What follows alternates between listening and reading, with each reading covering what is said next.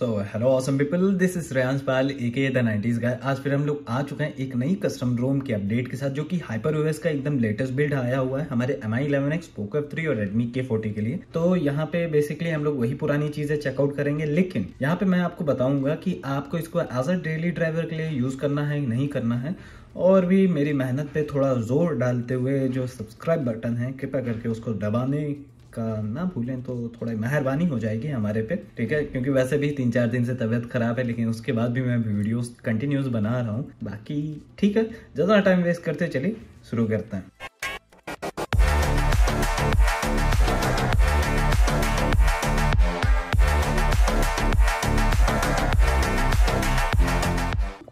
So as usual हम लोग चलेंगे फ़ोन के अबाउट सेक्शन में, जहाँ पे हम लोग जाके देखेंगे कि हम लोग को यहाँ पे जो देखने को मिलता है हाइपर ओएस का वर्जन जो है, वो हम लोग को यहाँ पे देखने को मिलता है बीटा पे, जो कि 22 जैन जो डेव है, उसके ऊपर बेस्ड है, जो कि एम एम ई तब पता नहीं, जो भी डेवलपर हैं उन, उनके नाम का यहाँ पे हम लोग को देखने को मिल जाता है।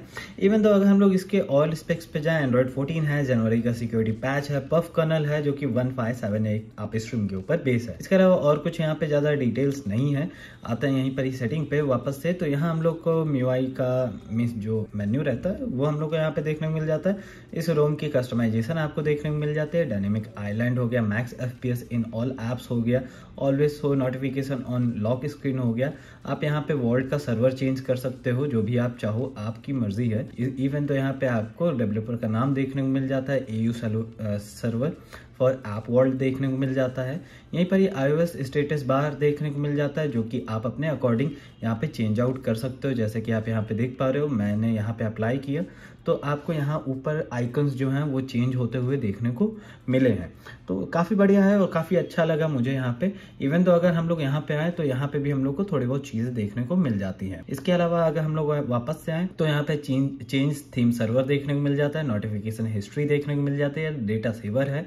एक्स्ट्रा ड्रीम देखने को मिल जाता है। डेवलपर का नाम है। ऐप लैंग्वेज आपको देखने को मिल जाती है, जो कि आप हर एक ऐप के मतलब उसमें आप चेंज कर सकते हो अपने अकॉर्डिंग जो भी आपको लैंग्वेज चाहिए उसमें। नेटवर्क इंटरनेट में मुझे कोई दिक्कत नहीं हुई सारी चीज़ें एकदम परफेक्टली वर्किंग है। मतलब चाहे 5G हो, चाहे कुछ भी, यहाँ पे आप देख पा रहे हो कि 5G मेरा यहाँ पे वर्किंग देखने को मिल रहा है। एकदम परफेक्टली मुझे कोई भी दिक्कत नहीं हो रही है फाइव को लेकर। लेकिन वो एनआर जो है मतलब जो फीचर है, वो यहाँ पे मुझे इनेबल देखने को नहीं मिल रहा है, क्योंकि वहाँ पे होता ये है कि आप अगर कॉल पे भी रहते हो तो भी एल पे स्विच नहीं करता तो ये चीज़ अभी तो मुझे देखने को नहीं मिली है यहाँ पे। इवन तो अगर यहीं पर ये डिस्प्ले की बात करें तो डिस्प्ले पे हम लोग को वही पुराने ऑप्शन है देखने को मिल जाते हैं, और यहाँ अगर रिफ्रेश रेट की बात की जाए तो सिक्सटी नाइनटी और वन ट्वेंटी जो कि एकदम परफेक्टली काम कर रहा है। ए आई इमेज इंजन की बात करें एम एम सी है सुपर रेजोल्यूशन है A I H D R enhancer देखने को मिल जाता है।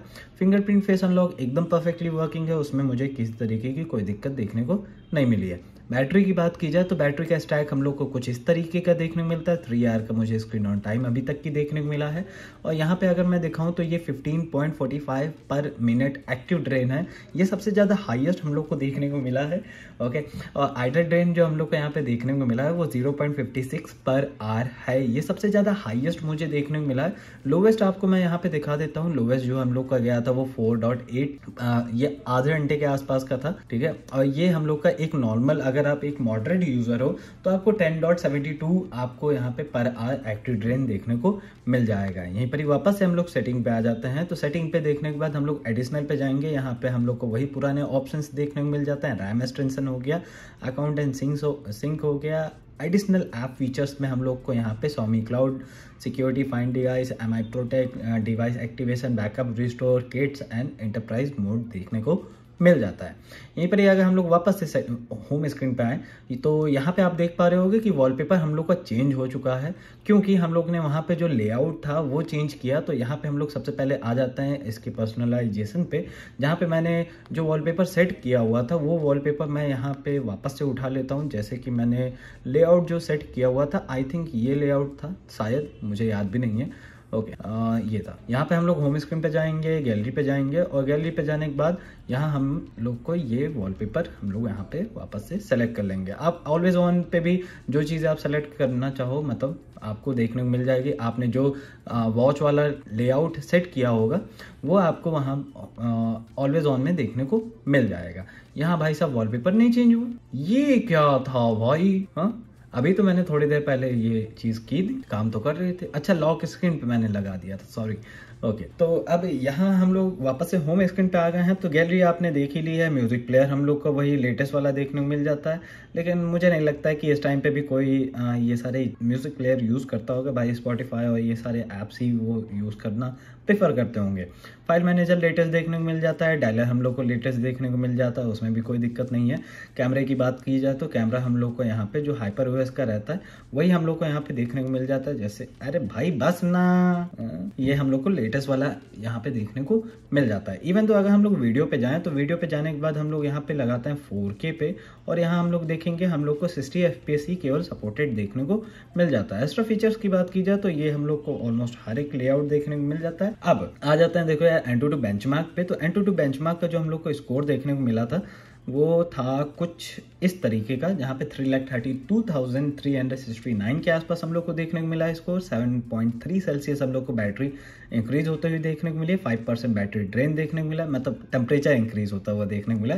गीक बेंच की बात की जाए तो सिंगल में वन थ्री ज़ीरो एट देखने को मिला है मल्टी में थ्री थ्री डबल नाइन देखने को मिला है, जो कि काफ़ी अच्छा स्कोर है। सीपीयू टोटल की बात की जाए तो मैक्सिमम जीआईपीएस हम लोग को three lakh twenty six thousand के आसपास है और यहाँ पे हम लोग को थ्री लाख के आसपास देखने को मिल जाता है। एवरेज में और मिनिमम में two lakh eighty seven thousand के आसपास है। हम लोग यहाँ पे मैक्स आउट स्पीड वही three dot one eight giga पे है। Eighty nine percent max out performance देखने को मिल जाती है।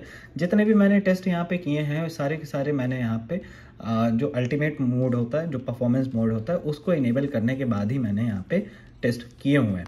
अब यहीं पर ही अगर हम लोग आए सेफ्टी नेट की भाई साहब, जब से सीक्यूट होटल मतलब प्ले स्टोर से हटा है, तब से मेरे साथ ऐसा हो रहा है कि मैं यहाँ पे चीज़ें कर ही नहीं पा रहा हूँ वापस से मैनेज क्योंकि उनका ए पी के ही ए पी के मुझे इंस्टॉल करने पड़ जाते हैं बार बार। खैर, ये अभी थोड़ी देर में इंस्टॉल हो जाएगा, बाकी मैं यहाँ पे बता दूँ। तो गूगल फ़ोटोज़ में अनलिमिटेड स्टोरेज देखने को मिल जाता है और पबजी में नाइन्टी एफ़ भी हम लोग को यहाँ पे देखने को मिल जाता है। यहीं पर ही सेफ्टी नेट की अगर बात करें तो सेफ्टी नेट यहाँ पे हम लोग को बाय डिफ़ॉल्ट पास देखने को मिल जाता है। डी आई इन्फो की बात की जाए तो वाइड वन एल देखने को मिल जाता है।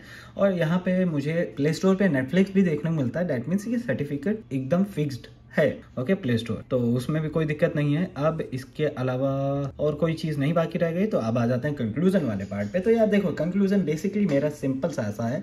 बैटरी बैकअप आप एज अ मॉडरेट यूज़र हो तो आपके लिए एकदम परफेक्ट है। मतलब आपको 10 से 12 परसेंट आपको एक्टिव ड्रेन देखने को मिल जाता है। आइडल ड्रेन आपको लगभग 0.5 या मैं कह रहा हूँ 0.6 भी देखने को मिल जाता है तो भी उसमें कोई दिक्कत नहीं है और काफ़ी अच्छा है। और अगर आप एक हाईवी यूज़र हो तो आपको थोड़ा बैटरी को लेके मतलब उतना भी नहीं होगा। लगभग लगभग तीन, साढ़े तीन, चार घंटे तो आपका चल ही जाएगा। अगर आप एक हाईवी यूज़र हो, साढ़े तीन घंटे या चार घंटे कि आपको बैक टू बैक बस गेमिंग करनी है दैट्स इट तो आप आराम से इसके साथ जा सकते हो। टर्बो मोड अगर नहीं ऑन किया आपने परफॉर्मेंस मोड तो बैटरी आपकी थोड़ी और बच जाएगी, नहीं तो आपका जो टेम्परेचर है वो फोर्टी टू सेल्सियस तक की चला जाएगा यहाँ पे। तो ये कुछ कंक्लूजन है मेरे उसके लिए कि हाँ ये आपको मैं एज अ डेली ड्राइवर के लिए प्रेफर कर सकता हूँ। इवन दो गेमिंग के लिए भी मैं आपको प्रेफर कर सकता हूँ। आप इसके साथ बेसिकली जा सकते हो ईजिली तो that's it for this video मिलते हैं अगली वीडियो में, तब तक लिए बाय बाय